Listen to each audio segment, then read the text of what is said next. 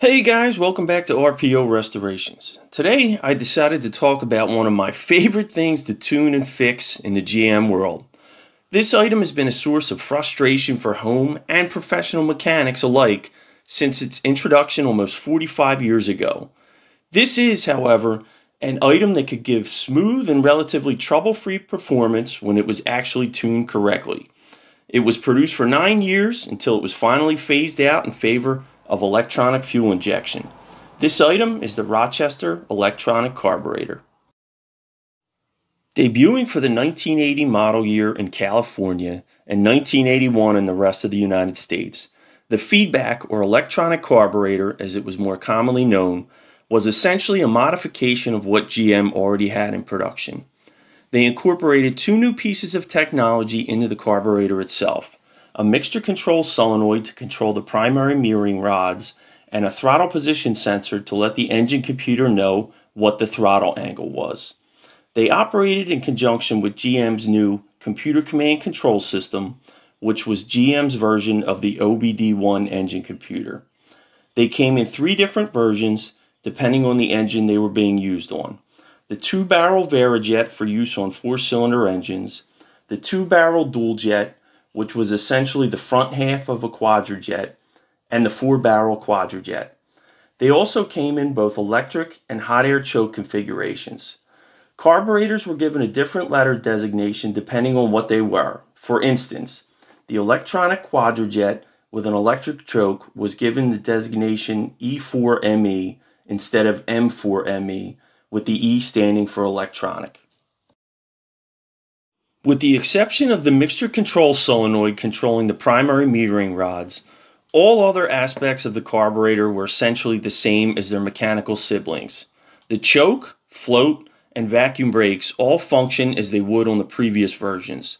This would also include the secondary side of the four-barrel quadrajet. The electronic feedback carburetor's primary purpose was to help control tailpipe emissions. As built, there really wasn't a benefit when it came to fuel consumption. The sole purpose of the carburetor was to maintain an air-fuel ratio of 14.7 parts air to 1 part fuel throughout the full range of driving conditions whenever possible. This ratio had to be maintained because this is the ratio that allowed the catalytic converter to do its best possible job. It worked in conjunction with GM's computer command control system and the ECU, which was the brain of it. The computer command control system contained several sensors which fed data to the ECU. This included a map sensor, coolant temperature sensor, and the throttle position sensor located inside the carburetor, amongst others. The ECU took the information from its sensors and determined what type of load the engine was under. It then factored in what the driver was trying to do with the throttle and determined how much fuel the engine would need to perform while keeping that ratio of air and fuel as close to 14.7 to 1 as it could. It used the oxygen sensor located in the exhaust manifold to see if it was doing its job. As the exhaust got richer or leaner, the voltage emanating from the sensor would change, giving the carburetor constant feedback on whether the changes it was making to the mixture were working or not. Hence the name feedback carburetor. Now that we have a basic overview of the system, Let's talk about how the computer was actually able to make changes to the mixture as the engine was running. It did this through the mixture control solenoid that was located inside the carburetor itself. The solenoid was attached to a spring-loaded mechanism which would move the primary metering rods in and out of the jets. The ECU would pulse the rods up and down 10 times a second. It would maintain this 10 times a second pulse but would alter the speed at which it paused between in or out pulses. This resulted in the rods staying in the jets longer, leaning out the mixture, or being out of the jets longer, richening the mixture. In addition to the mixture control solenoid altering the amount of fuel passing through the jets, the dual jet and quadrajet feedback carburetors also had an air bleed valve located in the air horn which would follow the movements of the mixture control solenoid. This valve would alter the amount of air passing into a bleed circuit in the carburetor, giving the carburetor another way to help maintain that 14.7 to 1 ratio. The feedback carburetors provided a relatively seamless transition from the mechanical carburation for the average car buyer. Except for the addition of a check engine light on the dashboard, most drivers wouldn't even know that they were driving a car with an electronically controlled carburetor. You would still get in the car, pump the gas to set the choke, and turn the key to start it. The car would fast idle just like a mechanical carburetor, and then you would tap the gas to bring the idle down. There was no difference in drivability or acceleration for the end user. This assumed, however, that all things were working right. The carburetors usually worked fine from the factory. It's when the cars got a little older or needed some carburetor work that problems usually came up. The feedback carburetor had several new adjustment points and several new ways of calibrating things that some home mechanics and even some professional ones weren't aware of. All of the external systems operated the same.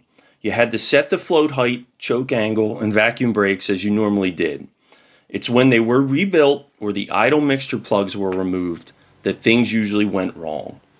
First, during a rebuild, the mixture control solenoid travel needed to be set by using a special gauging tool along with the rich or lean stop screws.